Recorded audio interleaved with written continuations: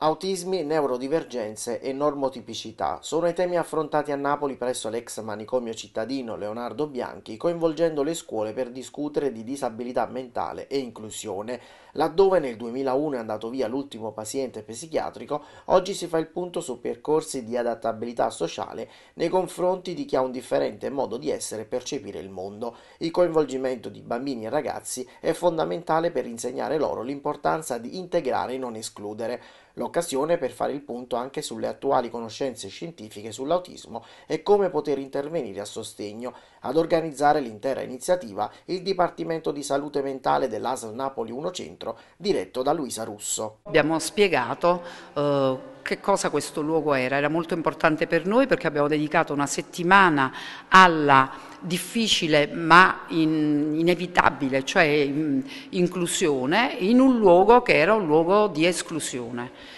E in più abbiamo eh, ritrovato del, eh, delle balle di canapa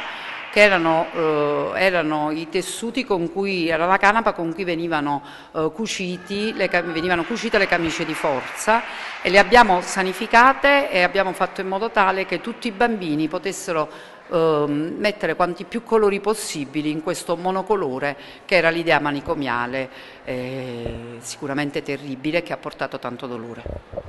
Dottoressa, l'inclusione è fondamentale, ma per quanto riguarda la scienza, la medicina, il sostegno, cosa eh, la nostra sanità può dare a, eh, a chi è autistico, bambino o adulto? Eh, sicuramente può dare e deve dare tantissimo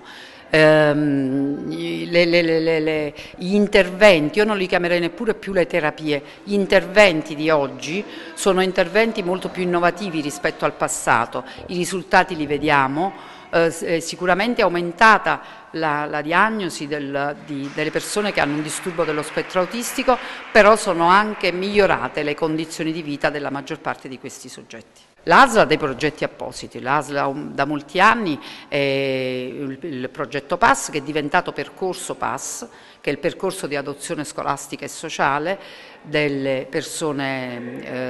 autistiche e, e, sta andando avanti e in queste giornate noi ribadiremo anche l'importanza della fase di transizione dall'adolescenza all'età adulta gli inserimenti, gli inserimenti lavorativi e abitativi, che sono un'emergenza in questo momento perché